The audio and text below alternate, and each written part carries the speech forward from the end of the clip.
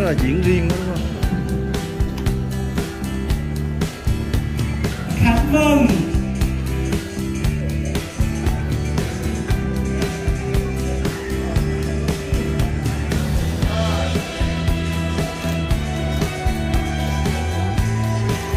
quý vị ơi, ban tổ chức ơi, chúng ta xin một tay lên để cùng ghi lại những khoảnh khắc thật tuyệt vời của mình.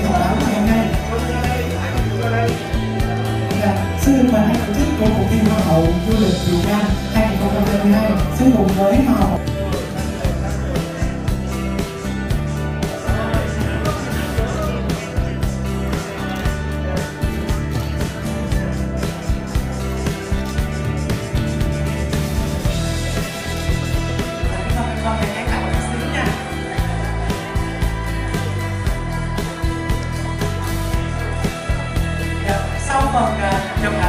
ảnh của à, đến từ đơn vị ai Josephine thì xin được mời chị Quỳnh Trang sư phụ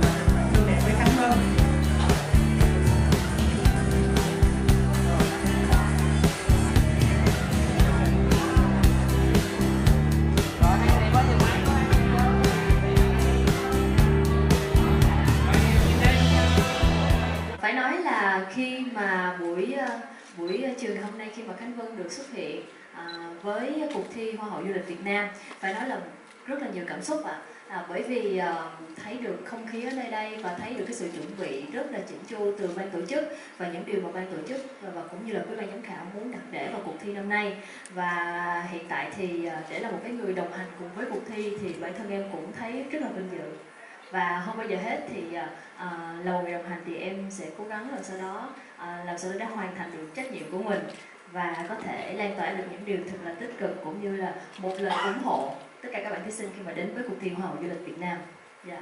À, vâng, cảm ơn Khánh Vân rất nhiều. Vậy thì hoặc là trang bị những cái à, kiến thức gì để chúng ta cùng lan tỏa cái thông điệp về du lịch Việt Nam đến với cộng đồng và xã hội ạ? Dạ thưa anh, giống như ờ, hồi nãy thì mình có thể nghe được chị Hoa Hồng Ngọc Diễm chia sẻ với những cái ờ, tiêu chí của ban giám khảo đặt ra. Ờ, một người mà có thể đạt được đầy đủ những cái tiêu chí mà ban giám khảo đặt ra thì em nghĩ là một người rất là xứng đáng để trở thành Hoa hậu. Nhưng mà hơn bao giờ hết thì đối với em một mà cô Hoa hậu thì có thể là một người rất là truyền cảm hứng và có thể lan tỏa những giá trị thật là đẹp, thật là tích cực với cộng đồng, với xã hội. Và ngoài cái mặt là mình phát triển về cái ngành du lịch của Việt Nam mình thông qua đó thì mình có rất là nhiều những cái chương trình, những cái dự án để mình có thể chia sẻ với cộng đồng và làm sao đó để cho mọi người có thể biết hơn, hiểu hơn về đất nước, về quê hương của mình, làm sao đó để hiểu được ờ, người Việt Nam của mình đẹp như thế nào, đất nước Việt Nam của mình đẹp như thế nào phải không ạ? Cảm ơn em rất nhiều và mong rằng là em sẽ có những kỷ niệm thật đẹp với Hoa hậu du lịch Việt Nam 2022. Dạ, em cảm ơn anh Anh Quân và cũng như Khánh Vân xin được gửi lời chúc đến ban tổ chức của chương trình à, và cũng như xin được gửi lời chúc sức khỏe đến quý ban giám khảo và hy vọng rằng tất cả quý vị khán giả sẽ luôn yêu thương ủng hộ cho cuộc thi Hoa hậu du lịch Việt Nam 2022 ạ. Cảm ơn Khánh Vân rất nhiều và xin được uh, trân trọng kính mời một lần nữa ông Đàm Phương Anh, đại diện ban tổ chức sẽ lên trao hoa để cảm ơn sự đồng hành của Hoa hậu Hoàn vũ Việt Nam 2019 Nguyễn Trần Khánh Vân cùng cuộc thi của chúng ta năm nay.